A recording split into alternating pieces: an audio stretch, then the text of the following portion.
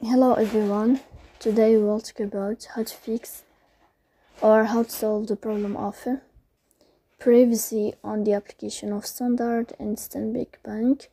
You will click on settings. Here in this page you will click on apps, default apps, app settings. And above you can search about Standard and Stanbic Bank here in this page you can click on force stop and you can click ok. Then you can go to storage. Here you can click on clear cache.